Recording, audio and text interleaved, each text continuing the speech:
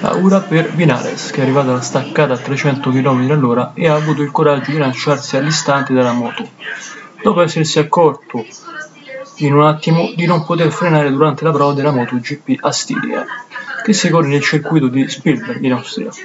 Una presenza importante di spirito per il pilota che ha rischiato grosso la curva 1 del giro 17. La sua Yamaha è finita contro le proiezioni contro le protezioni scusatemi, della pista prendendo addirittura fuoco, spavento ma nulla di grave, nulla di particolare, niente di preoccupante, nessuna conseguenza per Vinales. Sotto shock al rientro a box, la gara è stata quindi interrotta come vengono mostrate, mostrate le immagini televisive.